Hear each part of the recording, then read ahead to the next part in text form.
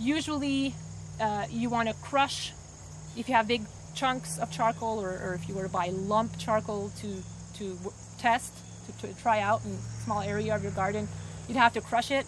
You'd want to moisten it before you crush it because it makes it can get very dusty. And we've had horror stories or horror pictures from some work that I've been was involved with in Canada. After the fact, I must say, where they applied very fine biochar without moistening it, and it was just a, clou- a black cloud just flying away. They don't even know how much they actually put on because they estimated a third of it just blew away. It does have uh, something on his. Yeah, that's a respirator. Yeah. Um, Just a dust mask works also. Yeah. Paper dust mask.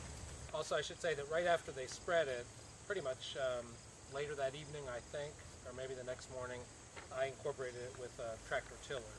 So um, that kicks up some of it. You know, that uh, there was a bit of a dust cloud, but not much.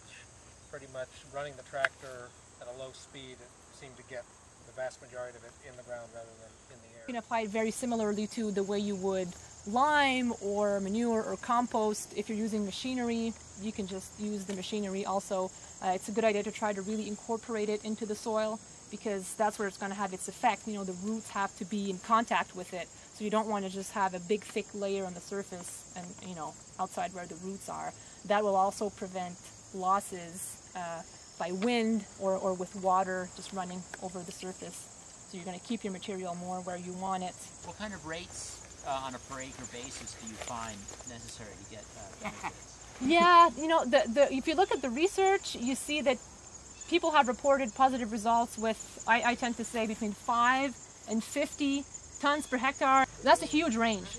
You know, that is a huge range. But that's because people have been working with a whole bunch of different soils, a whole bunch of different crops, and pot studies in the field. So you can't really, you know, when you look at a graph, it kind of goes, it's all over the place. You can't draw a nice trend and say, whoop, the top is here, it starts going down, so this is the optimal rate. We really can't do that at this at this point in time. So we're going to hear, I'm sure, from, from Rory and, and others, what which rates they've been trying out here. So I think that's probably a better, going to be a better answer to your question. Biochar is not just one thing. Depending on what you make it from, how you make it, it can be rather acidic, it can be very alkaline, it can have 3% ash, it can have 80% ash. Uh, you, re- you really have to be careful. Uh, I think more and more people nowadays, and then we were just discussing that, are selling and using biochar, but it's not because it's black and it came from biomass that it's good. You kind of have to be to be careful. And there are um, some of the materials that we have on our website at IBI. Um, our first technical bulletin is simple tests that you could do at home to, to make sure that biochar is not um, not toxic, basically.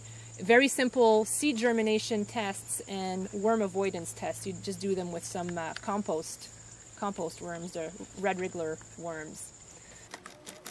Brought to you by the Avian Aqua Miser, our poop-free chicken water. Visit us on the web at www.avianaquamiser.com.